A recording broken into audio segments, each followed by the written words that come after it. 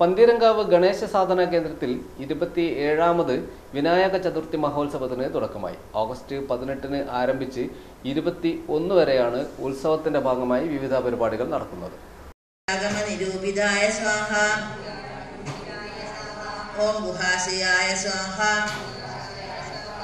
പന്തീരങ്കാവിലെ ഗണേശ സാധന കേന്ദ്രം ശ്രീമംഗള ചണ്ഡിക മഹാവിനായക ക്ഷേത്രത്തിൽ ഇരുപത്തി ഏഴാമത് വിനായക ചതുർത്ഥി മഹോത്സവം ആരംഭിച്ചു. ഓഗസ്റ്റ് പതിനെട്ട് മുതൽ ഇരുപത്തി ഒന്ന് വരെ ഗണേശ ലളിത സഹസ്രനാമ ലക്ഷാർച്ചനകൾ വിവിധ പൂജകൾ ഹോമങ്ങൾ ചണ്ഡികാ ഹോമം ആയിരത്തി എട്ട് കൊട്ടത്തേങ്ങ കൊണ്ടുള്ള അഷ്ടദ്രവ്യ മഹാഗണപതി ഹോമം ചതുരാവൃതി തർപ്പണം എന്നിവയോടുകൂടി നടക്കും.